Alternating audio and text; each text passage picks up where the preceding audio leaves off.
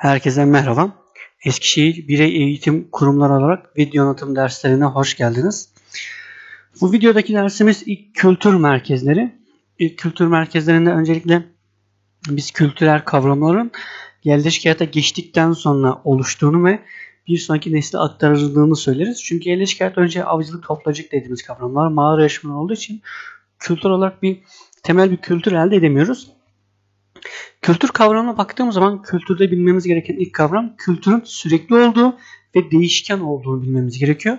Çünkü kültürel kavramlar sadece tek bir noktadan veya tek bir bölgeden yeri özelliğini almayıp veya tek bir dönemden özelliğini almıyor. Kültürel kavramlara baktığımız zaman kültürel kavramlarda bizim özellikle somut ve soyut dediğimiz unsurlar vardır. Ve bunlar değişken olduğu için sürekli halledir.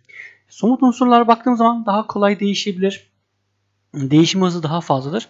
Ama soyut unsurlara baktığımız zaman değişmesi daha zor dediğimiz kavramlar diye söyleyebiliriz. Peki ilk kültür merkezleri ilk kültür bölgeleri nerelerdir diye soracak olursanız biz ilk kültürel bölgeleri ne zaman görmeye başladık, ne zaman yerleşik hayata geçtiler diye soracak olursanız kültürel merkezin yerleşik hayata geçmesinin en temel ihtiyacı bizim için beslenme sorunu vardı eskiden. Ve temel olarak en büyük ihtiyacımız başta fizyolojik dediğimiz beslenme ihtiyacı çıkıyor. Ama fizyolojik ihtiyacın karşılığı olarak da bir ürün bulunuyor. Yani doğada tesadüfen bulunuyor ve daha sonra insanlar bunu ekmeye başlıyorlar. Ne diye soracak olsanız tarım. Peki hangi tarımsal ürün bulunuyor diye soracak olursanız ilk bulunan ürün ise buğdaydır. Buğdayın yıllar içinde her zaman ürün verdiğini ve bunun ekile bir şeyler bir şey oldu farkına varınca insanoğlu bunu ekmeği ve tarlalar oluşturmaya başlıyorlar. Ama tarlalar tarım kavramı oluştuktan sonra insanlar konar göçerek süremiyorlar. Çünkü artık tarlası var. Yerleşik hayata geçmesi gerekiyor. Ve tarımdan dolayı insanlar ne yapmış oluyorlar? Yerleşik hayata geçtiği söylenir. Ama bizim bu bilgimiz alt üst eden bir yer var. Neresi var diye soracak olursanız işte bizim bu bilgimiz alt üst eden en temel yer Urfa'nın Göbekli Tepesi'dir. Çünkü milattan önce yaklaşık olarak 10 bin yıl öncesine ait eserler yer alıyor. Ve biz bu eserlere baktığımız zaman ilk yerleşik hayatın aslında tarıma dayalı değil, neye dayalı olduğu düşünülüyor? Din yani ilk tapınak olduğunu düşünüyoruz. Ama biz Göbekli Tepe'yi bir kenara atarsak ve onun dışındaki yerleşmelere bakarsak dünyadaki ilk yerleşik hayat Mezopotamya dediğimiz bölgede ortaya çıkıyor. Peki insanlar yerleşik hayata geçerken neyi dikkat ederler? Derler ki biz yerleşik hayata geçiyoruz ama tarım için ideal iklim koşullarının, yaşamak için ideal iklim koşullarına ihtiyacımız var beslenebilmek için ve tar- tarlamızı sulayabilmek için su kaynaklarına ihtiyacımız var ve verimli tarım alanları olmasını istiyoruz. Bu üç temel karşılandıktan sonra savunması ve yerleşmesi kolay olan yer şeklinin elverişli olduğu bölgeleri tercih etmek istiyorlar. Biz baktığımız zaman özellikle ilk yerleşik hayat daha çok akarsu boylarına Fırat ve Dicle arasında kalan Mısır nehrine, Nil nehrinin kıyısına kalan Mısır medeniyeti, Indus Nehri'nin kıyısına kalan Hint medeniyeti, Çin kıyısını Sarıırmak ve Gökırmak Nehri'nin kıyısına kalan Çin medeniyetini görürüz. Çin medeniyetini görürüz. Ve biz bu medeniyetlerin tamamına bir isim veririz.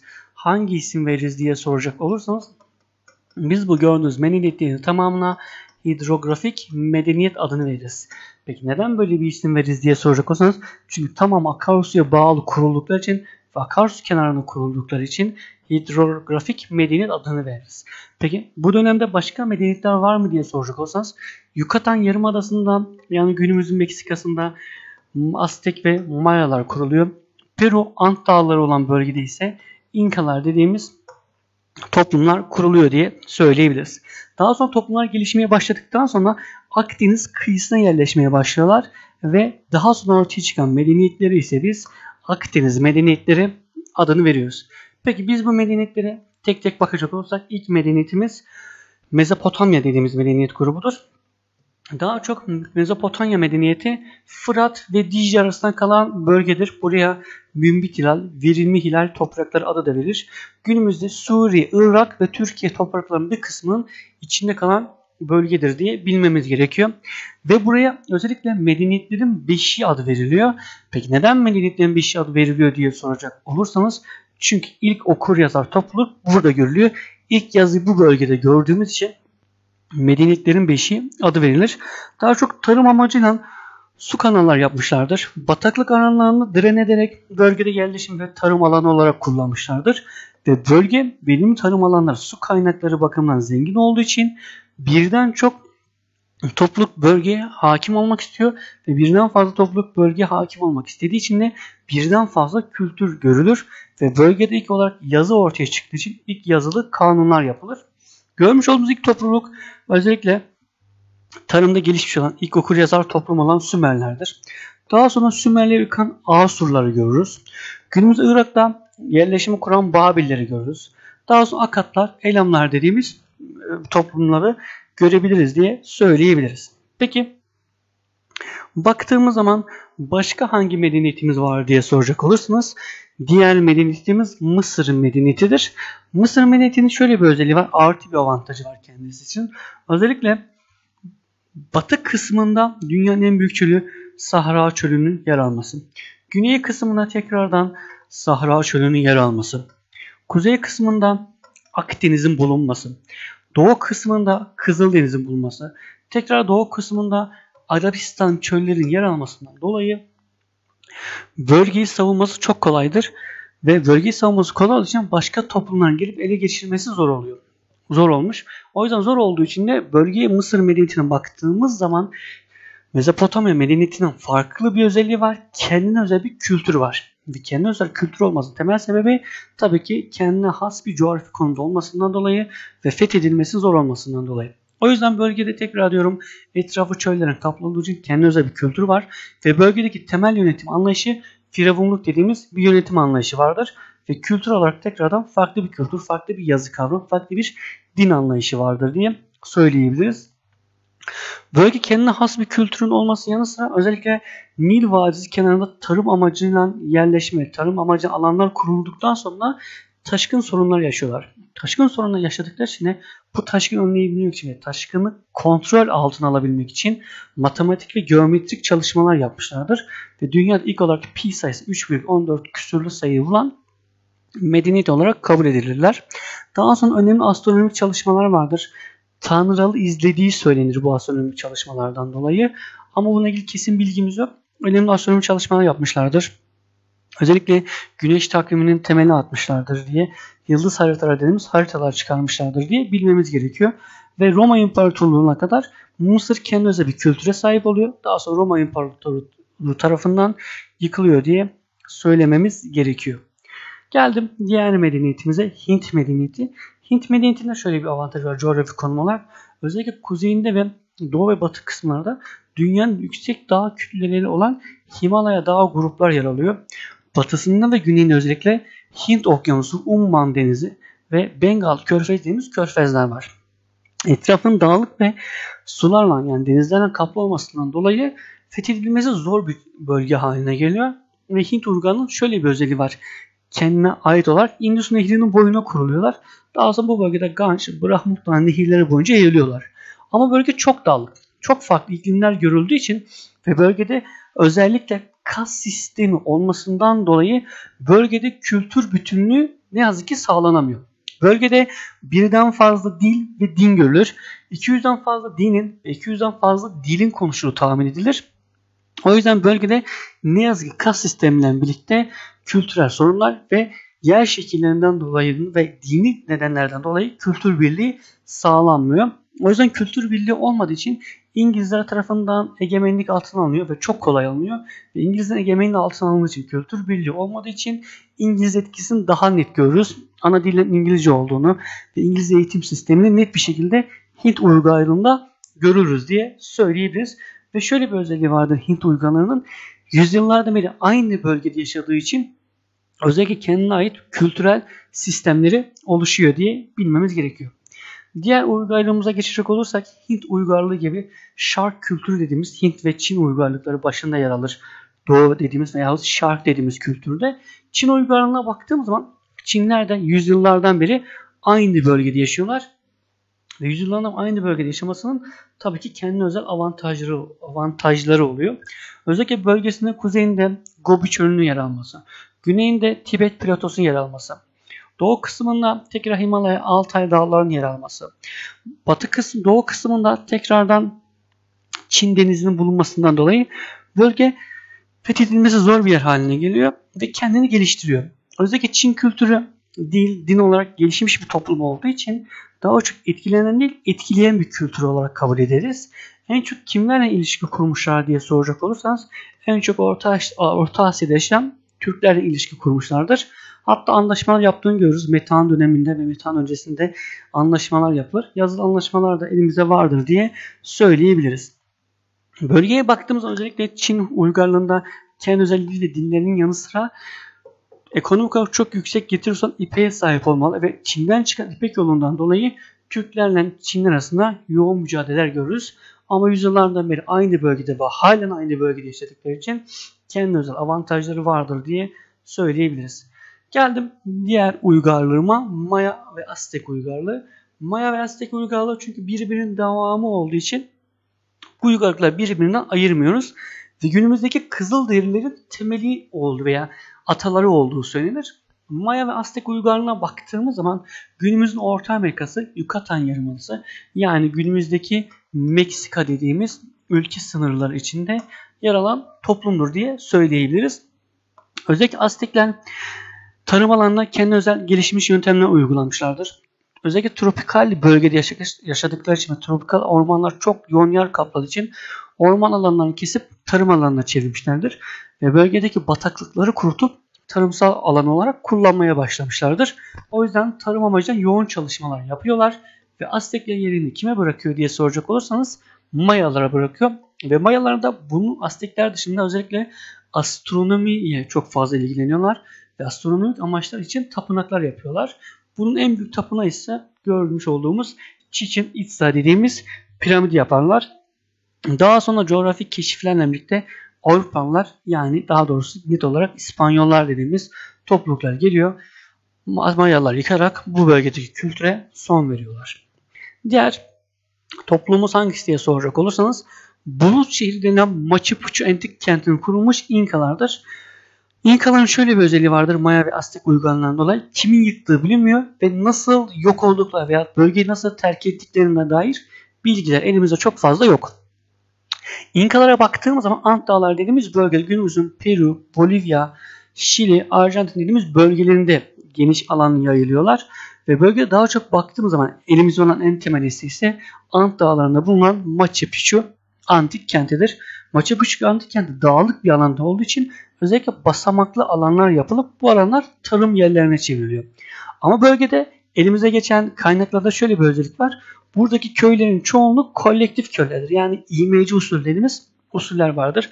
Herkes tarım alanında birlikte çalışır. Bütün tarım alanları ekilir. Ürün hasat edildikten sonra bütün ürünler toplanır. Köyle eşit şekilde dağıtılır. Bu köy sistemini ise kolektif köyler adını veriyoruz. Daha sonra nedeni bilinmeyen bir şekilde kayboluyor buradaki İnka dediğimiz topluluklar. Şu an bu bölgedeki insanların ne olduğuna dair kesin bir bilgimiz yok.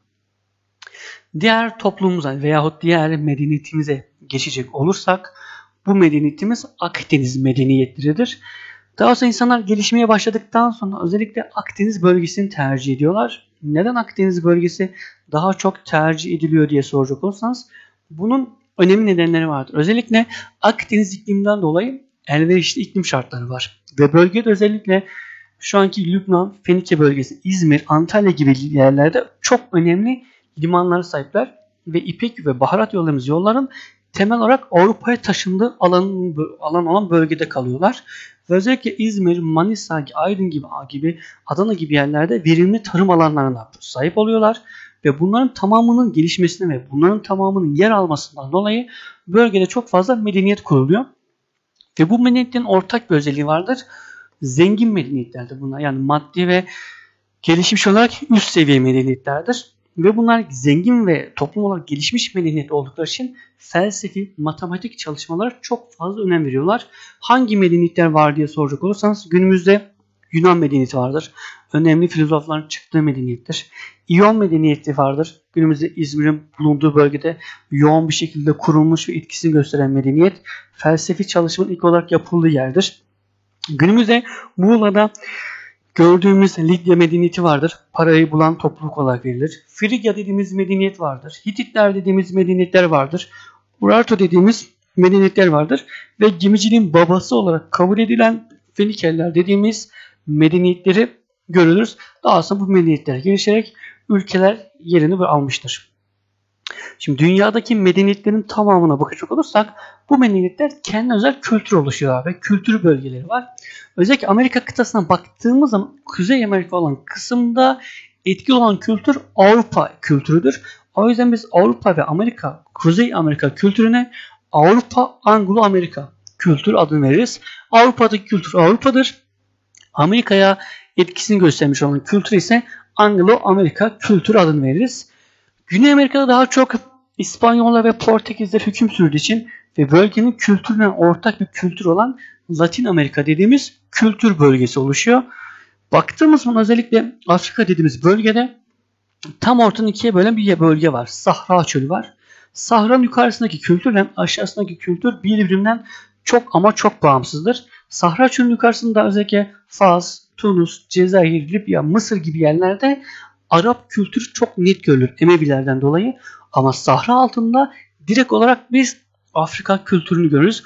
O yüzden biz Sahra altı dediğimiz veyahut Afrika dediğimiz kültür bölgesi vardır. Özellikle Orta Doğu'da Arap Yarımadası'nda yani Sina Yarımadası'nda, İran bölgesinde ve Kuzey Afrika gibi bölgelerde ise Arap İslam kültür bölgesini görürüz.